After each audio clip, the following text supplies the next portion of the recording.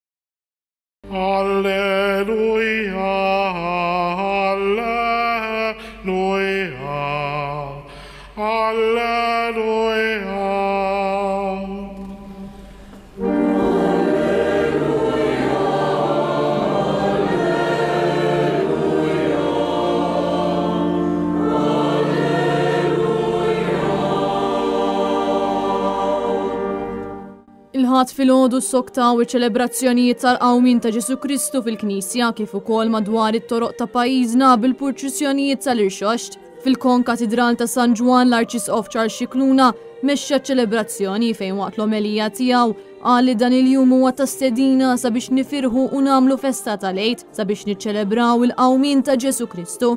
Dan għaliex bħal-lum infakkru r-rebħa tiegħu fuq il-mewt u d-dnub. Huwa sostna li l-Mulej bil-misteru tal-Għid tiegħu jnaddafna minn kull ħsieb li aħna aħjar minn ħaddieħor, li aħna l-uniċi li għandna d-dritt li niġġudikaw lil ħaddieħor jew li nikkundannaw lil ħaddieħor. Barra minn hekk huwa fakkar fil-miġja ta' Mosè. Il-ħobż bla ħmira huwa l-ħobż tas-safa tal-qalb, tal-qalb li tifhem, li tagħraf.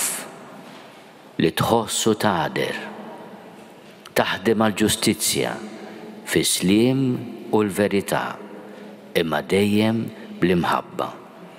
Għax il-ħobż bla ħmira li jirrikkmandalna San Pawl għall-festa tal-Għid huwa l-ħobż tas-safa u tas-sewwa. Is-Sibt filgħaxija l-qniepel mill-ġdid reġgħu bdew jindaqqu, wara madwar 48 siegħa silenzjużi, tifsira li Ġesù Kristu rebaħ il-mewt.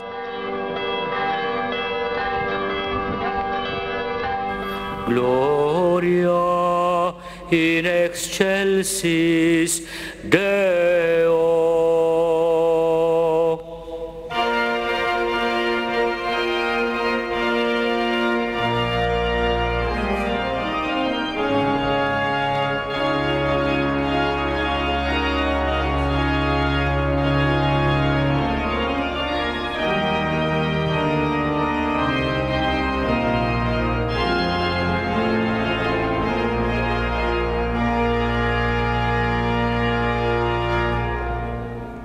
Il-viġili solenni tal-Qawmien tal-Mulej mill-imwiet kienet immexxija mill-Arċisqof Charles Scicluna fil-Konkatidral ta' San Ġwann tal-Belt Valletta. F'din iċ-ċelebrazzjoni jinxtegħel il-blandun li jissimbolizza il-bidu u it-tmiem. Il-fjamma tal-blandun tirrappreżenta id-dawl ta' Ġesù Kristu.